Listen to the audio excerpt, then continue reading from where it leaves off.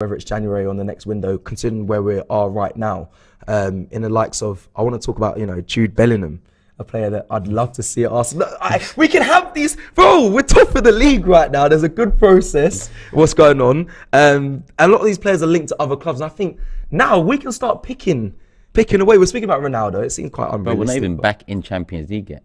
We, we, we, But- we, we've had a good 14 game, a great 14 games. Yes. We Uh, cannot talk about these players right now. are you seriously, Turkey? Of course, what do you mean? We haven't even won anything yet. I know, I hear that, but you're you're we're at top of the Premier League, and I know we haven't won anything yet, but there's definitely something you Bro, can look at. Chelsea was top of the Premier League in November last year. United was top of the Premier League in January one year. Mm-hmm. You, you have to get it over the But line. if you're a young player and you're looking at it and you're thinking you, what you're seeing from this Arsenal side, whether it's I know we haven't won anything yet, but what you're seeing